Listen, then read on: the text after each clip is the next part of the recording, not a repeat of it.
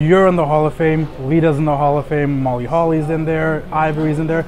Is there anyone that was in the business while you were in the business that you think deserves to be in the WWE Hall of Fame that might not have been inducted yet? The aforementioned Mickie James. Yeah. That's for sure.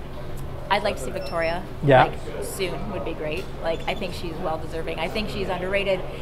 You know, I, I do so many interviews and people ask me about different feuds and different you know rivalries and it's like that one is like when you really break it down, that was like the real I feel like when we were doing women's wrestling was like trying to just turning the corner as far as like being taken serious. That's it was those matches with her that Yeah. were like, okay, no, this is actually legit and this is a viable part of the entire show. So, yeah, Victoria for the Hall of Fame. Victoria for the Hall of Fame.